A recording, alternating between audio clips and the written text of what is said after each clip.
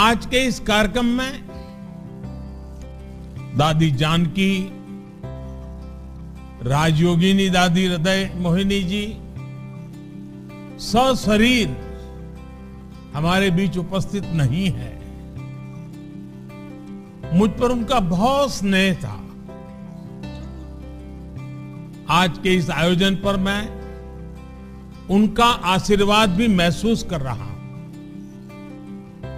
साथियों, जब संकल्प के साथ साधना जुड़ जाती है, जब मानव मात्र के साथ हमारा ममभाव जुड़ जाता है,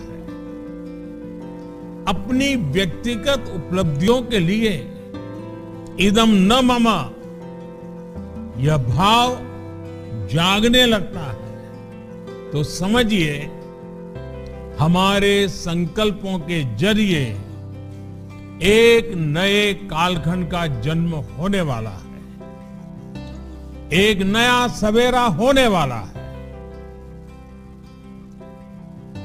सेवा और त्याग का यही अनुभव आज अमृत महोत्सव में नए भारत के लिए उमड़ रहा है।